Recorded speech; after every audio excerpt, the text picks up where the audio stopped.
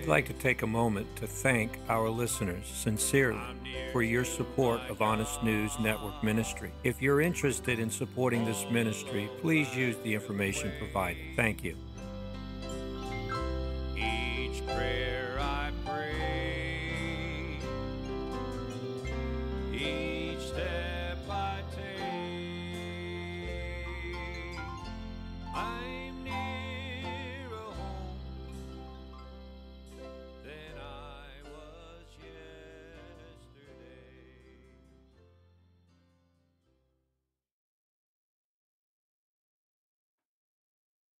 Romans chapter 8,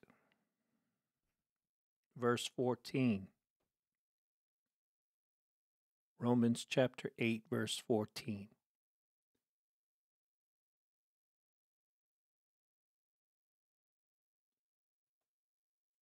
For as many as are led by the Spirit of God, they are the sons of God. He didn't say babes, he didn't say children, he said sons. Huios. Babes and children are not led by the Spirit. That's why I keep saying over and over, keep emphasizing to God's people the need for maturity, the need to develop, the need to grow up. We're going to learn how Jesus was led by the Spirit.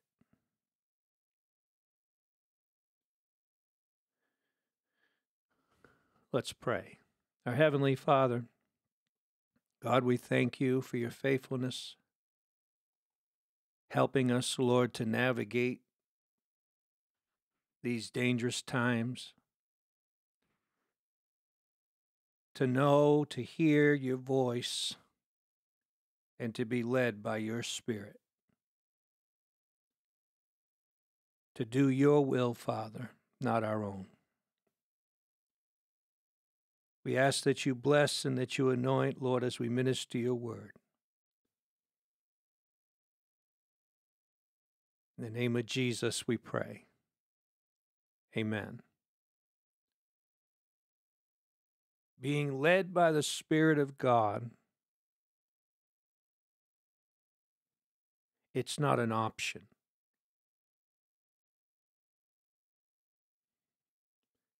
You're not going to make it, folks. You say, Well, I'm saved, Brother Joseph. Yeah, Jesus said, They that endure to the end shall be saved. You're not going to make it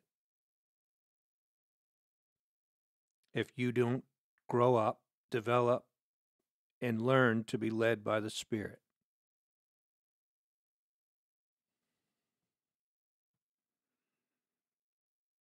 Galatians chapter 5 verse 18 But if ye be led of the spirit ye are not under the law that tells me that if you're not led by the spirit you are under the law to some degree you're still under the law if you're not being led of the Spirit. How many know there is the law of the Spirit? The Bible also speaks of the law of faith. We're not supposed to be living under the law, the Ten Commandments, people. We're supposed to be walking by faith, living by faith, led of the Spirit of God. If you're under the law, it's because you're in sin. That's why we see John saying, My little children, sin not. You don't see him saying that to sons. You don't see him saying that to those that have matured. If you're still sinning, It brings you under the law, folks. Every time you sin, you come back under the law. And, and it's not until the Lord forgives you, cleanses you, brings you into that right standing to where you can be in the Spirit. But even to be in the Spirit, you have to be filled with the Spirit.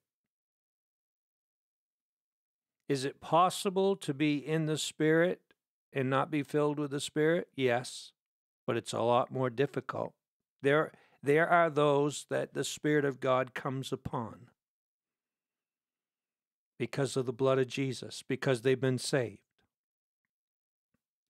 But to be led of the Spirit in, in the manner that we read in the Scripture, you've got to be filled with the Spirit. Folks, listen to me. God is offering us an overcoming life in the Spirit. This idea of carnality and getting by and doing our best. That's what we've been hearing for this negative message. God knows I'm going to sin. Provision has been made for overcomers, people. When's the last time you heard a preacher, a minister in the mainstream ever preaching about the overcoming message? Being an overcomer. You don't. You don't. In fact, what you mostly hear in the mainstream is I'm just a sinner saved by grace. Show me that in the Bible that we're supposed to be just sinners saved by grace. Why does the Bible call those that are mature and those that have quit sinning, why does it call them saints? I'm sure some of you are going to fall out with me, but there is people, there is a life above sin. There certainly is. Let not sin reign in your mortal body. Sin shall not have dominion over you. I realize that this is new doctrine for many of you, but there is a overcoming life. And you've heard this preacher speaking about this overcoming life, but many of you revert back to the messages you've heard in the past. Oh, I'm, I'm going to do my best. My pastor used to say, Your best will split hell wide open. I want you to understand that God has made provision to be more than conquerors, to be overcomers, to live a victorious life on this earth. Blessed is the man that doesn't give in to temptation. Amen. Hey, God would not have made it a requirement to live above sin if he didn't make provision for it. He wouldn't be very just, would he? God is not asking you and I or requiring you and I of something that we cannot do with his help. God has made a way for mere mortals those that are sold under sin, those that were lost and carnal natures with a depraved nature, He's made provision for us to be transformed, to be changed, to be restored into His image and His likeness. Praise God. You can live on this earth like Jesus. Well, Brother Joseph, you shouldn't say that. You can live on this earth like Jesus if you'll do what Jesus did. What did Jesus do? He didn't do his own will. Let's, let's listen to his own words. John chapter 5, verse 30. This is Jesus speaking. I can of my own self do nothing. I can of my own self do nothing. As I hear, I judge. And my judgment is just. Why? Because I seek not my own will, but the will of the Father which has sent me. Is that a requirement to do the will of the Father? You, you, you got to understand that Jesus Christ is not just our Savior, He's not just our deliverer. Listen to me. He is the pattern for the sons of God to live. Jesus is the first begotten of the Father, full of grace and full of truth. And he is the pattern for the sons of God. He came unto his own, and his own received him not. But to as many as received him, what? To them gave he power to become the sons of God. You're not going to please God in the flesh. You're not going to please God being in sin. You're not going to please God giving into temptation. You're going to please God the same way Jesus did. Yes, you can be like Jesus. And you need to be like Jesus. The cliches are not going to make you an overcomer. What would Jesus do? That's not going to work. You need Him to transform you, to change your nature. Jesus said, I can't of my own self do nothing. Jesus Christ could do nothing of himself. Amen. He did not seek his own will.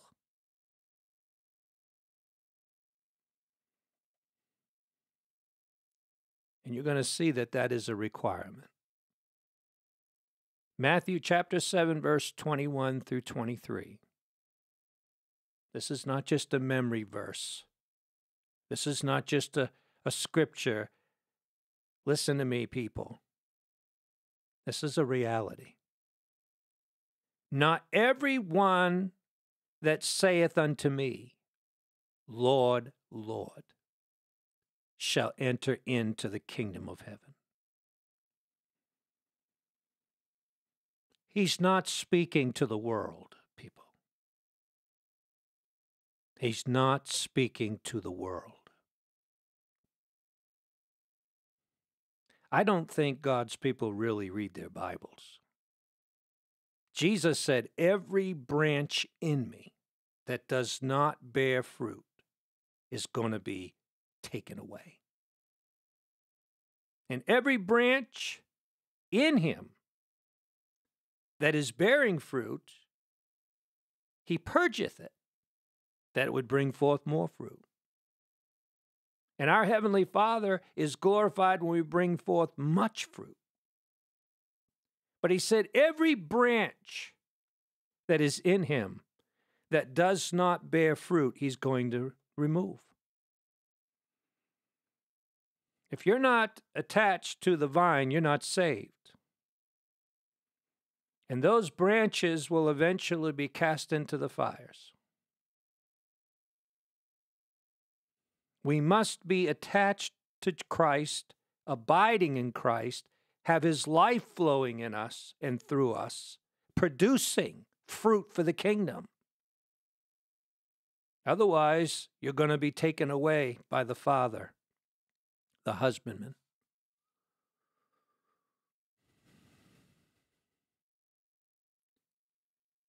There is a requirement. You must do the will of God the Father, which is in heaven. Jesus did only the will of the Father. He said, I, I can of my own self do nothing. We all must come to this place. What a wonderful place to come to. I can of my own self do nothing. Have you come to that place of dependence on the Lord yet? That you only do the will of the Father. That you only do those things that please the Father. I don't think any of us have arrived, but we're supposed to be following on to be the sons of God. Amen. Fully grown and developed, and to walk on this earth the same way Jesus did. I can tell you this in the 30 years I've been serving the Lord, I can tell you this I've experienced it, I've tasted it. I know what it is to walk like Jesus walked, but to walk that way constantly, consistently, no, because we have that flesh. Anybody listening? We have an adversary, but I've tasted it. I've tasted of it. And it is wonderful to live that overcoming, to live in the Spirit, to walk in the Spirit, that when temptation comes, you, it doesn't even affect you. Amen. When you're in the Spirit, lust of the eyes, the lust of the flesh, the pride of life, it doesn't even affect you. God has provided the overcoming life in the Spirit so that when the devil does come to tempt us, he can't find anything in us. Just like Jesus. Many times we want to look at Jesus and say, well, he, he could live that way because he's Jesus, because he's the Son of God. But he's made provision. God has made provision for us to live the way Jesus lived. Amen to live an overcoming life. Praise the Lord. And again, there are those in the scripture called saints. It's not like the Catholic Church that puts uh, apostles on pedestals and those that are not even apostles, like Mother Teresa, whatever, and calls them saints. No. Whosoever will can be a saint of God. Amen. God is no respecter of persons. We can all be saints. We can all live the life of a saint on this earth. It's up to us if we're going to surrender to that. Do we want to live for ourselves? Do we want to live for this life in this world? Or are we going to live for Him? You can't live for God living for yourself. You can't do the will of the Father doing your own will. You got to make up your mind. And if you'll mean business, God will help you. It's like my pastor said when he was in Bible school. He said, a te- one of the teachers said to the students one day, he said, Students, if you can stand the pull, God will pull you through. Amen. Not one of us could do it if God didn't pull us through. But He's willing if we can stand the pull. Glory to God. Glory to God. Do you know of anything better than being like Jesus? Than living a life like Jesus lived? Do you know anything better?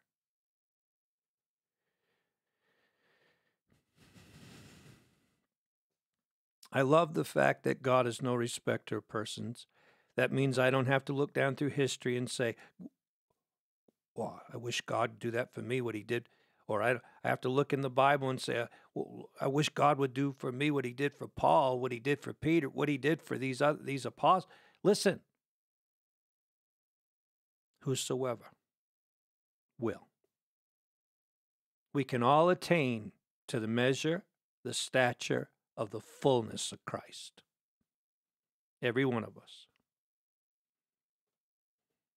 Not everyone that saith unto me, Lord, Lord, shall enter into the kingdom of heaven. That makes it tight, people. That makes it a narrow way, a straight and a narrow way. Not every one that saith unto me, Lord, Lord, shall enter into the kingdom of heaven. But he that doeth continues to do the will of my Father which is in heaven. Heaven is a prepared place for a prepared people. Hell is a prepared place for an unprepared people. God did not create hell for souls. It was created for Satan and his angels. But you can be a rebel if you want to be. You can rebel against, rebel against God, re- rebel against his kingdom, just like Lucifer did. But you're going to go to the same place. Amen.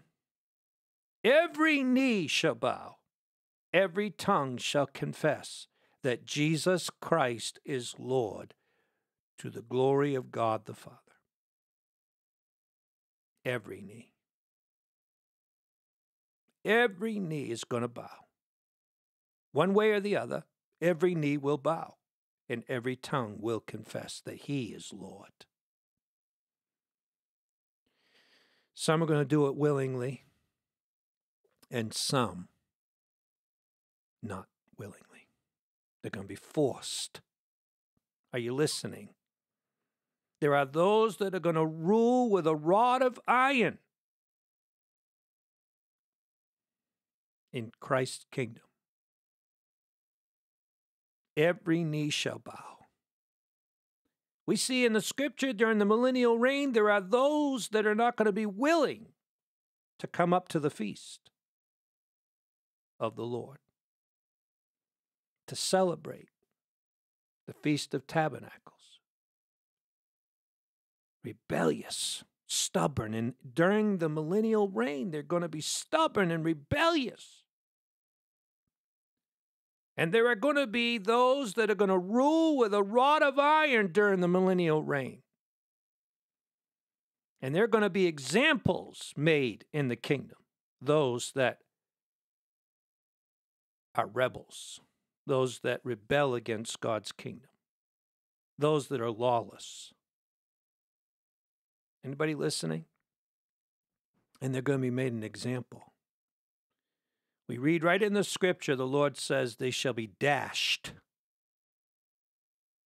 to pieces, just like a vessel of the potter. What do you, how do you suppose they're going to be dashed to pieces? With a rod of iron, people. Coming. It is coming. Christ's kingdom is coming. It's not going to be unruly. It's not going to be lawlessness. Christ, you're talking about Christ. You're talking about the King of glory. You think he's just going to allow his kingdom to get out of hand? You think he's just going to allow it to become confusion? No. There's going to be order in his kingdom. And all those that are not in order, all those that are not following the rule of law in his kingdom, they're going to be made an example of. Amen. Praise God. Praise God. You want to be one of those that rules in his kingdom with a rod of iron? What does it say? All disobedience will be corrected by those that have been made obedient. When your obedience is fulfilled, then God will use you to help others to obey, to other, for help others to straighten out. Amen. I want to say this again. There won't be any lawlessness in Christ's kingdom. There won't be any lawlessness. And the moment it shows its rears its ugly head, the moment it's going to be dealt with, nipped in the bud, and it's going to be made an example. It's going to, you look in the Old Testament, that was the Lord that told them to stone their children, to stone the teenagers that become rebellious. The stonings that took place, that was under Christ's rule in the Old Testament, or I should say, under the law. Jesus didn't come to destroy the law and the prophets, he came to fulfill. And it's going to be wonderful for those that are living in Christ, those that are living according to the law of God in Christ's kingdom. But for those that are rebels, those that are living in Christ's kingdom, that are rebels, they're going to be corrected. They're going to be chastened. This is the time, people, to get right. This is the time to become part of His kingdom. This is the time to become part of His plan and His purpose.